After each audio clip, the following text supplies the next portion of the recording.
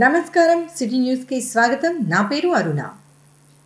రానున్న ఎన్నికల్లో తెలుగుదేశం పార్టీని గెలిపిస్తేనే రాష్ట్రానికి ఉజ్వల భవిష్యత్తు ఉంటుందని Kurnool assembly Telugu Desam party incharge TG Bharat అన్నారు. ఈ మేరకు నగరంలోని నలభై ఐదవ వార్డులో జరిగిన భవిష్యత్తుకు గ్యారంటీ కార్యక్రమంలో ఆయన పాల్గొన్నారు. నలభై ఐదో వార్డు లేబర్ కాలనీలో Kurnool assembly TDP incharge TG Bharat ఇంటింటికి తిరిగి ప్రజలను కలిశారు. భవిష్యత్తుకు గ్యారంటీ కరపత్రాలను ప్రజలకు అందించి టీడీపీ మేనిఫెస్టోను వివరించారు. అనంతరం ఆయన మాట్లాడుతూ ఇసుక కొరతతో భవన నిర్మాణ కార్మికులు తీవ్ర ఇబ్బందులు పడుతున్నారన్నారు. తెలుగుదేశం పార్టీ అధికారంలోకి వస్తే భవన నిర్మాణ కార్మికులకు ఎలాంటి ఇబ్బందులు లేకుండా చూసుకుంటామన్నారు. కార్మికుల సమస్యలు టీడీపీతోనే పరిష్కారం అవుతాయన్నారు. కర్నూలులో పరిశ్రమలు వస్తే స్థానికంగా వేలాది మందికి ఉద్యోగ ఉపాధి అవకాశాలు దొరుకుతాయన్నారు. రాష్ట్రంలో చంద్రబాబు ముఖ్యమంత్రి కావాలని కర్నూలులో తాను ఎమ్మెల్యే అవ్వాల్సిన అవసరం ఎంతైనా ఉందన్నారు. ప్రజల భవిష్యత్తుకు భరోసా ఇచ్చే టీడీపీని తప్పకుండా గెలిపించాలని ఆయన ప్రజలను కోరారు. కర్నూలు ప్రజల భవిష్యత్తుకు భరోసా ఇస్తున్నటువంటి తనను ఎమ్మెల్యేగా గెలిపించి ఒక్కసారి పనితీరు చూడాలని ఆయన ప్రజలను కోరారు. ఇక ప్రజల కోసం ఉచిత వైద్య పరీక్షలు చేయిస్తున్న భరత్ తెలియజేశారు. మూడు వేల రూపాయల విలువ చేసే పరీక్షలు ఉచితంగా చేయిస్తున్నామన్నారు. ప్రజలు దీనిని సద్వినియోగం చేసుకోవాలన్నారు. ఈ కార్యక్రమంలో కార్పొరేటర్ మాణిక్యమ్మ టీడీపీ నేతలు సుంకన్న ప్రభాకర్ రమణ లక్ష్మణ రవి సుందర్రాజు తదితరులు పాల్గొన్నారు. భరతయ్య కడప కడప తిరిగి మన సమస్యలు అందరికీ తెలియజెలుపుతున్నాడు ఖచ్చితంగా మన భరతయ్య మన సమస్యలు ఇసుక కానీ కరెంటు బిల్లు కానీ పింఛన్లు కానీ రేషన్ కార్డు కానీ ఎన్ని సమస్యలు ఉన్నామంటే చెప్పలేని సమస్యలు ఉండేవి.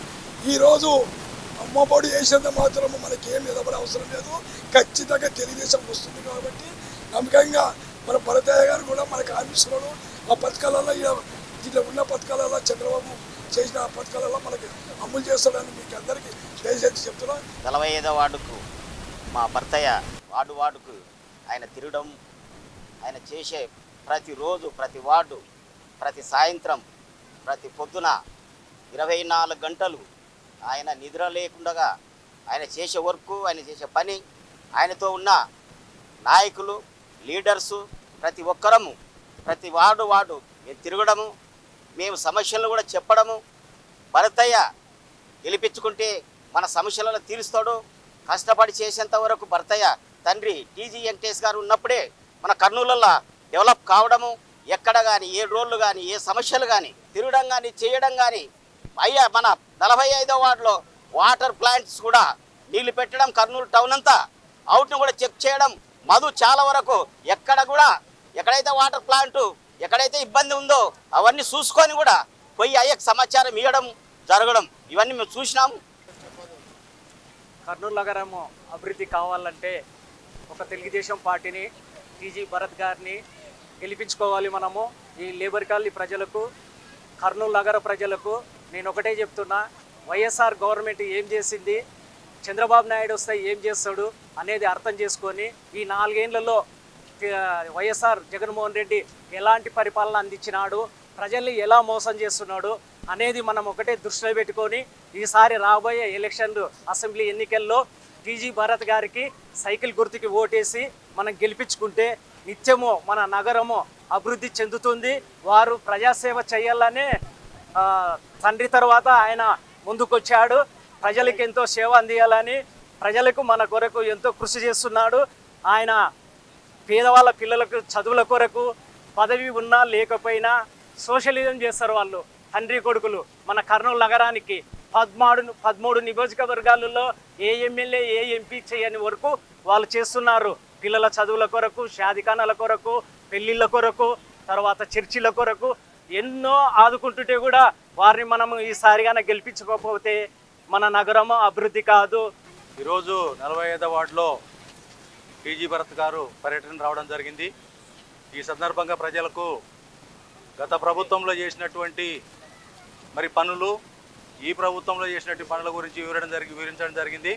అదేవిధంగా ఇప్పుడు నాలుగేళ్ళ నుంచి జనం ఏ విధంగా అయితే నరకయాతన అనుభవిస్తున్నారో అదే పద్ధతుల్లో తిరిగి మరీ జగన్మోహన్ రెడ్డిని అధికారంలోకి తీసుకొచ్చుకుంటే ఇంకా దుర్భరమైనటువంటి పరిస్థితులకు పోవాల్సి వస్తుందని చెప్పేసి తెలియజేయడం జరిగింది. అదేవిధంగా ఎవరికైనా అనారోగ్యం ఉంటే కూడా మరి జీజీ హాస్పిటల్ పోయి చెక్ చేయించుకొని మరి వాళ్ళు ముందు జాగ్రత్త పడాలని చెప్పేసి కూడా సూచనలు ఇవ్వడం జరిగింది. మరి మన భవిష్యత్తు బాగుండాలంటే మరి కర్నూలు నగరంలో టీజీ భరత్ గారిని అదేవిధంగా ఆంధ్రప్రదేశ్ రాష్ట్రంలో తెలుగుదేశం ప్రభుత్వాన్ని మరి గెలిపించుకునే దానికి మనమందరం కూడా సహాయశక్తుల కృషి చేయాలని చెప్పేసి తెలియజేస్తా సెలవు తీసుకు లేబర్ కాలనీకి ఈరోజు రావడం జరిగిందండి వార్డ్ విజిట్కి. సో ఇక్కడ మీకు లేబర్ కాలనీలో ఎక్కువ శాతము గౌండా పని చేసే వాళ్ళు లేబర్ పనులు చేసే వాళ్ళు ఎక్కువ శాతం ఉంటారు. సో మీ అందరికీ తెలుసు ఇక్కడ లాస్ట్ నాలుగేళ్ళలో ఏం పరిస్థితి? శాండ్ లేక పనులు లేక ఎంత ఇబ్బందులు పడినారనేది మీ అందరికీ తెలిసిందే. ఫ్యూచర్ ఏమి? భవిష్యత్ గ్యారంటీ అని చెప్పారు మన ప్రోగ్రామ్. సో భవిష్యత్ గ్యారంటీ అంటే చంద్రబాబుతో భవిష్యత్ గ్యారంటీ స్టేట్కి ఉంటుంది కర్నూలుకి భవిష్యత్ గ్యారంటీ నాతో ఉంటుంది. సో ఎందుకంటే నాకు అవకాశము ఎప్పుడు రాలేదు. ప్రజలు కూడా ఆలోచించాలి. ప్రజలు కూడా ఆలోచిస్తే తెలుస్తుంది. ఎందుకంటే ఇక్కడ ప్రూవన్ మనము మన ఫాదర్ ఉన్నప్పుడు ఏమేం చేశారో మీ అందరు తెలుసు. నా నైంటీ నైన్ నుంచి టూ థౌజండ్ ఫోర్లో టూ థౌజండ్ నైన్ నుంచి ఫోర్టీన్లో మిగతా వాళ్ళది మనది. కంపేర్ చేసుకోండి. మీకే అర్థము అర్థమైపోతుంది. మీకే కంక్లూడ్ చేసుకునేదానికి అవకాశం సో ఐదేండ్లు మనము ఒక లీడర్కి ఇస్తున్నాం ఒక గవర్నమెంట్కి ఇస్తున్నప్పుడు మనం ఆలోచించి నిర్ణయాలు తీసుకుంటే ఫ్యూచర్ అనేది బాగుంటుంది. సో ఎన్నో సమస్యలు ఉన్నాయి. ప్రతి చోట పోయినప్పుడు సమస్యలు చెప్తున్నారు. ఆ సమస్యలు పెరుగుతా పోతున్నాయి కానీ తగ్గడం లేదు కాబట్టి ఖచ్చితంగా చంద్రబాబు గారు లాంటి నాయకత్వం చాలా ఇంపార్టెంట్ స్టేట్కి నాట్ల వాళ్ళ నాయకత్వం కర్నూలుకి వస్తే ఖచ్చితంగా అభివృద్ధి పొందేదానికి ఉంటుంది. ఇంకోటి నేను నా- బిగ్గెస్ట్ అసెట్ నేను ఎప్పుడు చెప్తా మనం ఇండస్ట్రీస్ తెస్తాము. ఇండస్ట్రీస్ తెచ్చినామంటే ఒకటి యూత్కి ఉంటుంది పనులు పెరిగేదానికి అవకాశం ఉంటుంది. ఒక స్టీల్ ఫ్యాక్టరీ కర్నూలులో ఏర్పాటు చేస్తుంటేనే ఎన్నో పనులు పెరిగినాయి. ఒకే ఒక స్టీల్ ప్లాంట్లో అట్లాంటిది ఒక పది ప్లాంట్లు వచ్చినాయంటే ఎట్లుంటుంది పనులు? కర్నూలులో ప్రతి ఒక్కరికి పని ఉంటుంది ప్రతి ఒక్కరికి ఆదాయం పెరుగుతుంది ప్రతి ఒక్కరికి బిజినెస్ పెరిగేదానికి ఉంటుంది. సో ఇవన్నీ ఫ్యూచర్ ఆలోచించి నిర్ణయం తీసుకుంటే చాలా బాగుంటుంది. అలాగే మా గౌరీ గోపాల్ హాస్పిటల్ నుంచి మీ అందరికీ చెప్పడం జరిగింది చాలా. ప్రతి ఒక్కరికి ఇస్తున్నా ఎందుకంటే గుండెపోటుతో చాలా మంది చనిపోతున్నారు. ఇప్పుడు కూడా కరోనా వచ్చిపోయిన తర్వాత ఇది మేము ఫ్రీగా ఇస్తున్నాము. బయట చేయించుకుంటే మూడు వేల నుంచి ఐదు వేలు ఆరు వేలు కూడా అవుతుంది. ఫ్రీగా చేపిస్తున్నాము పోయి చెక్ చేయించుకోండి ఇచ్చినప్పుడు పోయి యూటిలైజ్ చేసుకుంటే మీకు ఏమైనా సమస్యలు ఉన్నా బయటపడేదానికి అవకాశం ఉంటుంది. బట్ ఖచ్చితంగా పోయేటే ట్రీట్ చెక్ చేయించుకుంటే చాలా బాగుంటుంది. థ్యాంక్ యూ రాయలసీమ సమస్యల పరిష్కారం కోసం త్వరలో చేపట్టనున్న చలో ఢిల్లీ కార్యక్రమానికి రాజకీయాలకు అతీతంగా అందరూ ముందుకు రావాలని Rayalaseema steering committee chairman Byreddy Rajasekhar Reddy పిలుపునిచ్చారు. ఈ మేరకు నగరంలో వివిధ ప్రజా సంఘాలతో కలిసి రాయలసీమ స్టీరింగ్ కమిటీ చలో ఢిల్లీ సన్నాహక కార్యక్రమాన్ని నిర్వహించారు. నగరంలోని వివిధ ప్రజా సంఘాల నాయకులతో నిర్వహించిన సమావేశంలో Rayalaseema steering committee chairman Byreddy Rajasekhara Reddy మాట్లాడుతూ రాయలసీమ సమస్యల పరిష్కారం కోసం రాయలసీమ స్టీరింగ్ కమిటీ ఆధ్వర్యంలో నిర్వహించ తలపెట్టిన చలో ఢిల్లీ కార్యక్రమాన్ని విజయవంతం చేయాలని పిలుపునిచ్చారు. రాయలసీమ ప్రాంతం నుంచి ఎంతోమంది ముఖ్యమంత్రులు అయినప్పటికీ ఈ ప్రాంతంలో సమస్యలు మాత్రం అలాగే ఉండిపోయాయని ఆయన తెలిపారు. ముఖ్యంగా రాయలసీమ ప్రాంతంలోని పెండింగ్ ప్రాజెక్టులను త్వరగా పూర్తి చేసి ఈ ప్రాంతంలోని కరవును పారద్రోలాల్సిన అవసరం ఎంతైనా ఉందన్నారు. రాయలసీమ ప్రాంతానికి ఎవరో ఏదో చేస్తారని ఇంతకాలం ఎదురు చూశామని కానీ ఎవరూ ఏది చేయలేదని ఆయన విమర్శించారు. ఇక మిగిలింది రాయలసీమ ప్రాంతాన్ని రాయలసీమ సమస్యల పరిష్కారం కోసమే మనమే పోరాడాల్సిన అవసరం ఉందని ఆయన తెలిపారు. ఇందుకు గాను రాయలసీమ స్టీరింగ్ కమిటీ ఆధ్వర్యంలో త్వరలో చలో ఢిల్లీ కార్యక్రమాన్ని నిర్వహిస్తున్నామని ఈ కార్యక్రమంలో అందరూ పాల్గొనాలని ఆయన పిలుపునిచ్చారు. ఇంతవరకు కూడా గట్టిగా ప్రశ్నించలేదు కూడా. ఈరోజు అందరి కోసంగా రాయలసీమ విషయాలన్నీ వినిపిస్తాం. ఆ తర్వాత పంచుకుందాం మనం. మీరంతా కూడా కరపత్రాలు పంచి మీరంతా కూడా మనం గ్రాస్ రూట్స్లోకి వెళ్ళిపోయాం మనం మీరు అనుకుంటున్న ఒక నిదర్శనం రగిలిపోతా ఉంది రాయలసీమ ఈనాడు ఈరోజు ఎవరు లేడు మనకు దిక్కు? మనకు మనమే మన ఈ రాయలసీమ. వీళ్ళ కథ ఏదో తెలుసుకుందామని చెప్పి తెలియజేస్తా ఉన్నా. ఎలక్షన్స్ వచ్చాయి. వెనకబడిపోతారు మీరు రాయలసీమలో చెప్తున్నా చలో ఢిల్లీ కార్యక్రమం పార్లమెంట్ వైపు చూసుకోపోదా మన యొక్క ఎంత ఇట్టనే బతుకుదామా ఇట్టాగే అప్పుల్లో కూర్చోపోదామా ఇట్టాగే వలసపై బతుకుదామా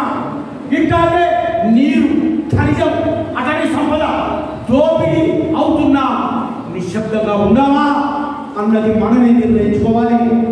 రేపు జరగబోయేటటువంటి చదువు ఢిల్లీ మన పిల్లల కోసం మన యువకుల కోసం మన ఈ ప్రాంతంలో ఉన్న నిరుద్యోగుల కోసం ఈ ప్రాంతంలో ఉన్న రైతుల కోసం ఈ ప్రాంతంలో ఉన్నటువంటి పేదరికంలో మక్కుతూ అర్థాలతో ఉన్నటువంటి రాయలసీమ వాళ్ళ కోసం ఈ చలో ఢిల్లీ. నీకోసం నా కోసం ఇది ఒక కన్వింపయ్యేటటువంటి కార్యక్రమం ఇది దిగి రావాల్సిందే కేంద్రం దిగి రావాల్సిందే అదే రకంగా రాజకీయ నాయకులు ఈ వ్యవస్థ దిగి రావాల్సిందే. చిల్లర దేవుళ్ళ కాదు ఆడే ఢిల్లీలోనే తెచ్చుకుందామన్న కార్యక్రమం ఇది. చలో ఢిల్లీ కార్యక్రమం. దీన్ని చేయడం చేయవలసిందిగా మనం చేస్తా ఉన్నా. నంద్యాల జిల్లాలో తెలుగుదేశం పార్టీని మరింత బలోపేతం చేసేందుకు అందరితో కలిసి పనిచేస్తానని ఆ జిల్లా తెలుగుదేశం పార్టీ నూతన అధ్యక్షునిగా ఎన్నికైన మల్లెల రాజశేఖర్ అన్నారు. ఈ మేరకు నగరంలోని తన నివాసంలో జరిగిన విలేకరుల సమావేశంలో ఆయన మాట్లాడారు.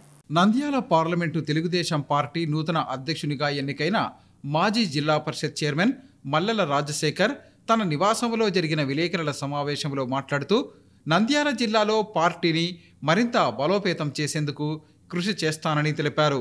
ఇందుకు నంద్యాల జిల్లా పరిధిలోని అన్ని నియోజకవర్గాల ఇన్ఛార్జీలతో కలిసి పనిచేస్తానని వివరించారు. రాష్ట్రంలో నాలుగు సంవత్సరాల వైఎస్ఆర్ కాంగ్రెస్ పార్టీ పరిపాలనలో అభివృద్ధి ఎంతమాత్రం జరగలేదని విమర్శించారు. రెండు వేల పంతొమ్మిదిలో ఎన్నికల సమయంలో ముఖ్యమంత్రి వైఎస్ జగన్మోహన్ రెడ్డి ప్రతిపక్ష నేతగా పాదయాత్ర చేసినప్పుడు ఇచ్చిన హామీలన్నీ విస్మరించి పరిపాలన కొనసాగిస్తున్నారని వివరించారు. ఎన్నికల మేనిఫెస్టోలో ఇచ్చిన హామీలను తొంభై తొమ్మిది శాతం పూర్తి చేశామని వైఎస్ఆర్ కాంగ్రెస్ పార్టీ నాయకులు చెప్పుకుంటున్నారని అందులో ఎంత మాత్రం నిజం లేదని ఆయన తెలిపారు. గతంలో తెలుగుదేశం ప్రభుత్వం హయాంలో నిర్మించిన గృహాలకు కనీసం మౌలిక సదుపాయాలు కల్పించలేని దుస్థితిలో వైఎస్ఆర్ కాంగ్రెస్ పార్టీ ప్రభుత్వం ఉందని ఆయన విమర్శించారు. టీడీపీ ప్రభుత్వ హయాంలో నిర్మించిన టిట్కో గృహాలను లబ్ధిదారులకు ఇచ్చే పరిస్థితి కూడా లేదన్నారు. వైఎస్ఆర్ కాంగ్రెస్ పార్టీ ప్రభుత్వ వైఫల్యాలను ప్రజల వద్దకు తీసుకువెళ్ళి తెలుగుదేశం పార్టీని మరింత బలోపేతం చేస్తామన్నారు. రానున్న ఎన్నికల్లో తెలుగుదేశం పార్టీ విజయమే లక్ష్యంగా ముందుకు సాగుతామని ఆయన తెలియచేశారు. ఈరోజు రాష్ట్ర ముఖ్యమంత్రి మేనిఫెస్టోలో తొంభై తొమ్మిది శాతం పూర్తి చేసినామని ప్రజల ముందుకు వచ్చి అబద్ధాలు చెప్పుకుంటూ వాళ్ళు ఈరోజు టైం వేస్ట్ చేస్తున్నారు. నేను ముఖ్యంగా ఒకటే చెప్పేది జగన్మోహన్ రెడ్డి గారు ఆ రోజు మీరు నేను మాట తప్పను మడమ తిప్పనని చెప్పి మీరు ప్రజల్లోకి వెళ్ళి ప్రజలను తీవ్రంగా మోసం చేసినారని నేను ఆరోపిస్తున్నాను. ముఖ్యంగా ఎందుకంటే ఈరోజు రాష్ట్ర ఆ రోజు రాష్ట్రంలో ఉన్న పేద పేద ప్రజలకు ఇండ్లు లేని పేద ప్రజలు ఉండకూడదని చెప్పి ఆ రోజు పాదయాత్రలో మీరు మాట్లాడినారు. తర్వాత మీరు ఇచ్చిన నవరత్నాల్లో కూడా ప్రతి పేదవాళ్ళకు ఇండ్లు ఇస్తామని చెప్పినారు. ఎక్కడ మీరు ఇచ్చినారు? మీరు రాష్ట్రంలోనే మొత్తం ఆంధ్రప్రదేశ్ రాష్ట్రంలోనే ఎనిమిది వందల అరవై ఎనిమిది ఇండ్లు కట్టినారని చెప్పి అసెంబ్లీ పార్లమెంట్ సాక్షిగా పార్లమెంట్లోనే చెప్పడం జరిగింది. ఎక్కడ ఇది మళ్ళీ తొంభై తొమ్మిది శాతం ఎక్కడ పూర్తి అయింది మీరు? ఆ రోజు చంద్రబాబు నాయుడు గారు సీఎంగా ఉన్నప్పుడు రాష్ట్ర వ్యాప్తంగా టిట్కో ఇండ్లను లక్షల ఇండ్లను రెడీ చేస్తే ఈ నాలుగు సంవత్సరాల్లో మీరు ఆ ఇండ్లకు మౌలిక సదుపాయాలు కల్పించి పేద ప్రజలకు అందియలేకపోయినారు. మీరు ఈరోజు డెవలప్మెంట్ చేసినామని చెప్తున్నారు. ఇది ఎంతవరకు కరెక్ట్? ముఖ్యంగా స్కూల్స్ విషయానికి వస్తే మేము ఎక్కడ మీరు ఎక్కడ స్కూల్స్లో కూడా ఎక్కడ స్టా స్టాఫ్ సరిగా లేదు. మీరు ఇస్తామని చెప్పిన డబ్బులలో కూడా ఈ మే బాత్రూమ్ మెయింటెనెన్స్ కోసం స్కూల్ మెయింటెనెన్స్ కోసం అని చెప్పి రెండు వేల రూపాయలు ప్రభుత్వం చేయాల్సిన దానిలో కూడా మీరు అమ్మఒడి డబ్బులో నుంచి కట్ చేస్తున్నారు. సిగ్గుందా సీఎంకి అని చెప్పి నేను తెలియజేసుకుంటున్నాను. ముఖ్యంగా ఇంకోటి హాస్పిటల్స్. ప్రతి ఒక్కరికి నాణ్యమైన వైద్యం అందిస్తామని చెప్పి ఆ రోజు పాదయాత్రలో చెప్పడం జరిగింది. ఈరోజు నాణ్యమైన వైద్యము ఎక్కడ ఉంది?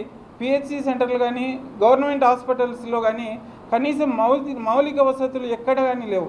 కనీస స్టాఫ్ లేదు. ముఖ్యంగా ఎప్పుడు పారాసిటమాల్ ట్యాబ్లెట్స్ కూడా అందుబాటులో లేని దుస్థితి ఈరోజు హాస్పిటల్లకు ఉంది.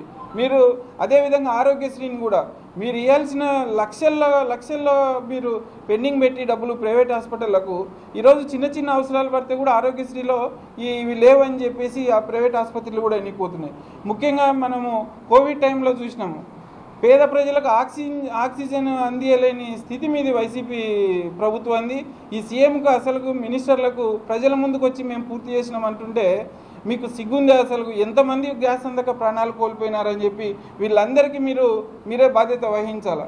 ముఖ్యంగా మేము అది దిశ చట్టం అని దిశ పోలీస్ స్టేషన్లు పెట్టి మేము రక్షణ కల్పిస్తున్నాం ఉంటారు ఈరోజు వైసీపీ ప్రభుత్వం వచ్చిన తర్వాత రాష్ట్రంలో ఏ నల్లు మూలలో ఎక్కడ చూడు మహిళల మహిళలపై దాడులు జరుగుతున్నాయి.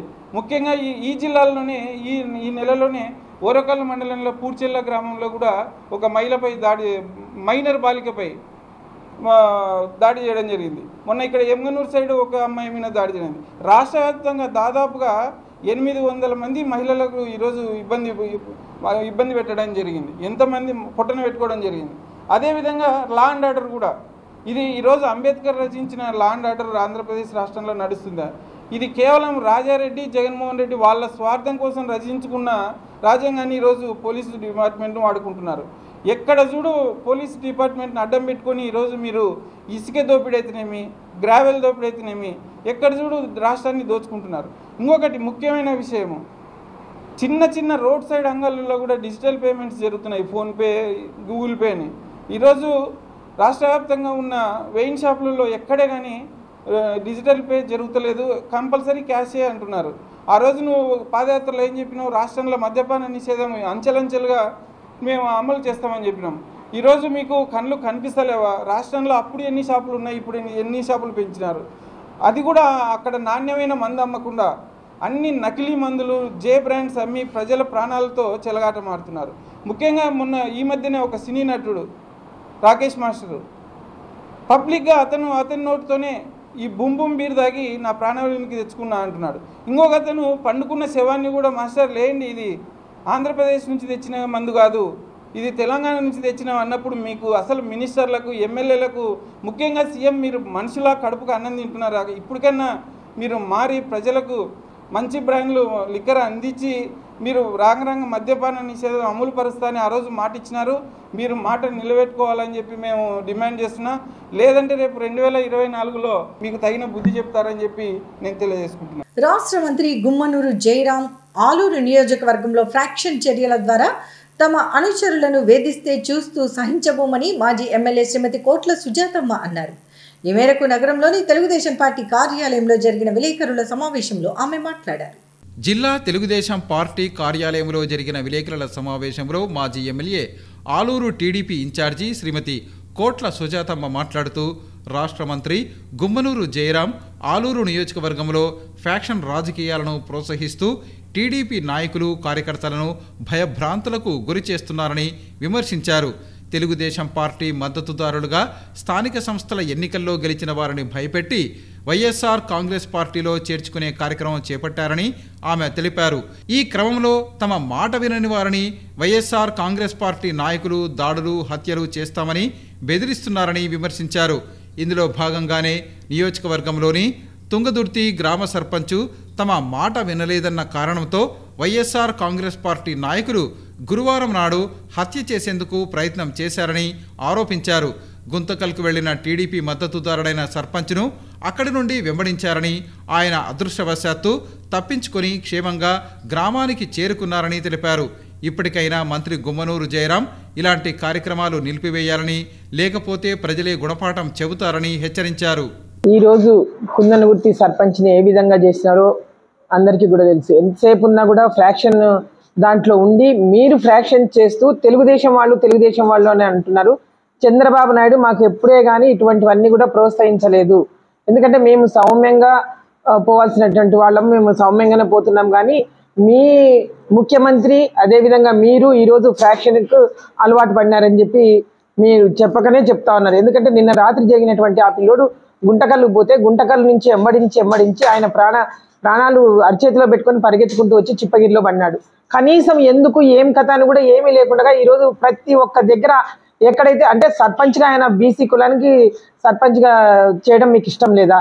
మీరు మా కులము మమ్మల్ని బీసీలను అణగదొక్కుతున్నారు అణగదొక్కుతున్నారు అని అంటున్నారు. ఎంతసేపు ఉన్నా కూడా.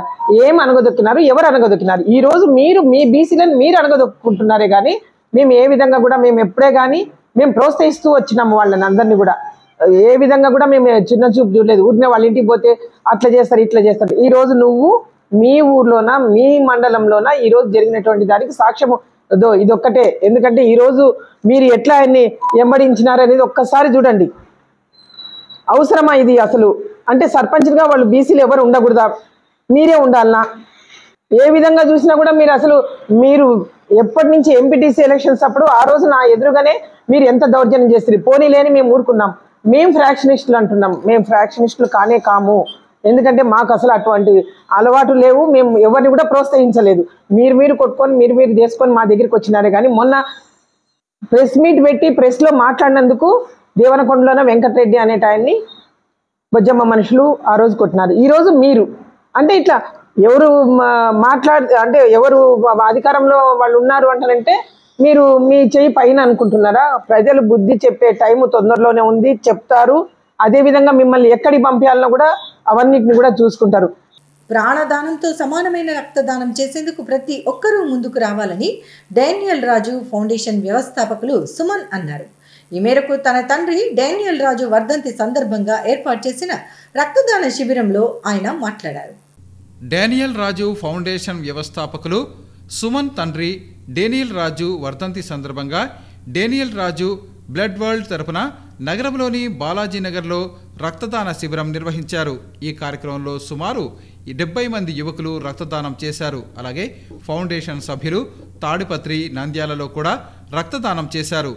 ఈ సందర్భంగా సుమన్ మాట్లాడుతూ తన తండ్రి పేరుతో ఫౌండేషన్ స్థాపించి ఎంతో మంది ప్రాణాలు కాపాడామన్నారు. డేనియల్ రాజు ఫౌండేషన్ మొదలు కావటానికి కారణమైన తన తండ్రి చనిపోయిన రోజున కొంతమంది ప్రాణాలు కాపాడాలన్న ఆలోచనతో తలపెట్టిన ఈ రక్తదాన శిబిరంలో రక్తదానం చేసిన డేనియల్ రాజు ఫౌండేషన్ సభ్యులకు ధన్యవాదాలు తెలిపారు.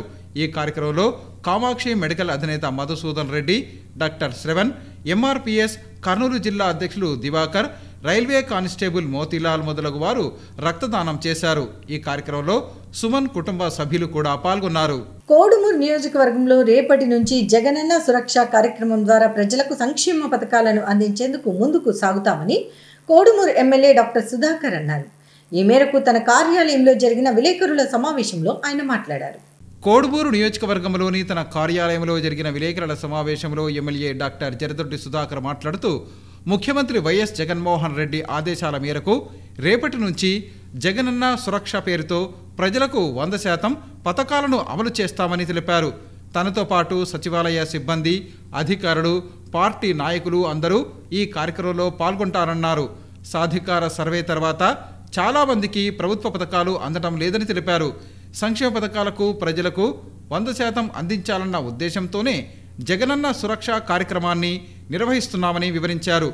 కోడుమూరు నియోజకవర్గంలో పూర్తి పారదర్శకంగా పార్టీలకు సంబంధం లేకుండా ఈ కార్యక్రమాన్ని నిర్వహిస్తున్నామన్నారు.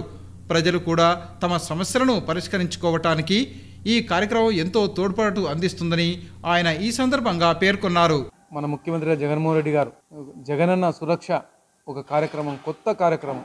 ఎందుకంటే ఇలాంటి కార్యక్రమాల ద్వారా ప్రజలకి ఇంకా ఏమైనా సంక్షేమ పథకాలు ఎవరికైనా అందలేదో లేకపోతే చిన్న చిన్న కారణాల వల్ల ఎవరికైనా సంక్షేమ పథకాలు రాకపోతే నూటికి నూరు శాతం ఖచ్చితంగా ఈ జగనన్న సురక్ష ద్వారా ప్రజలకు సంక్షేమ పథకాలు అందియాలనే ఉద్దేశంతోనే ఒక జగనన్న సురక్ష కార్యక్రమం రేపు జూలై ఒకటో తారీఖు మొదలు పెడుతున్నారు దీంట్లో భాగంగా సచివాలయం సిబ్బంది మండలాధికారులు అక్కడున్న వాలంటీర్ వ్యవస్థ అదేవిధంగా సచివాలయం వ్యవస్థ గృహ సారథులు వైఎస్ఆర్ పార్టీ నాయకులు సర్పంచులు ఎంపీడీసీలు జెడ్పీడీసీలు ఎంపీపీలు అదేవిధంగా నేను కూడా ప్రతి ఒక్క సచివాలయం ఖచ్చితంగా సచివాలయానికి సందర్శించి అక్కడున్న ప్రజల యొక్క సమస్యలను తెలుసుకొని ఆ సమస్యలను ఆ రోజే పరిష్కరించే దిశగా అడుగులు వేస్తున్నారు జనన సురక్ష కార్యక్రమంలో.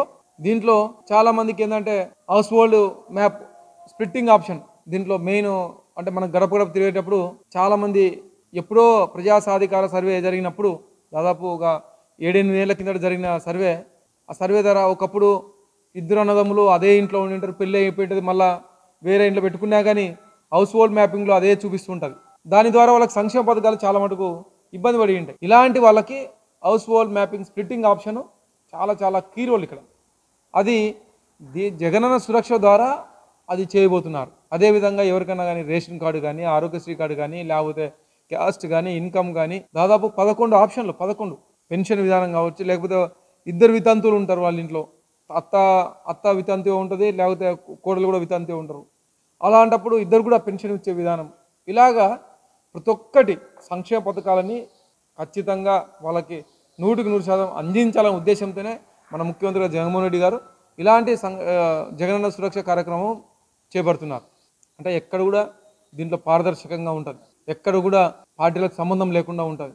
ఎక్కడ కూడా కొంచెం కూడా వీళ్ళకి తెలుగుదేశం వాళ్ళకో లేకపోతే కమ్యూనిస్ట్ వాళ్ళో కాంగ్రెస్ వాళ్ళ అనే భేదాభిప్రాయం లేకుండా అందరికి కూడా సంక్షేమ పథకాలు అందేయాలనే ఉద్దేశంతోనే ఈ కార్యక్రమం పెట్టారు. ఇంతకుముందు వాలంటీర్స్ ద్వారా దాదాపు నైంటీ ఎయిట్ పర్సెంట్ వరకు సంక్షేమ పథకాలు అందుతున్నాయి. ఇంకా టూ పర్సెంట్ ఎందుకు? అది కూడా మనం ఎందుకు అందగలేకపోతున్నాం అనే ఉద్దేశంతోనే ఇలాంటి కార్యక్రమం మొదలుపెట్టారు. కాబట్టి అన్నగారికి ఖచ్చితంగా ఇలాంటి మంచి కార్యక్రమం పెట్టినందుకు మీ మీడియా ద్వారా అన్నగారికి ఒకసారి ధన్యవాదాలు తెలుపుకుంటున్నాం. ఇంతటితో సిటీ న్యూస్ సమాప్తం. తిరిగి రేపు ప్రసారమయ్యే సిటీ న్యూస్లో మళ్ళీ కలుసుకుందాం. అంతవరకు సెలవు. నమస్కారం.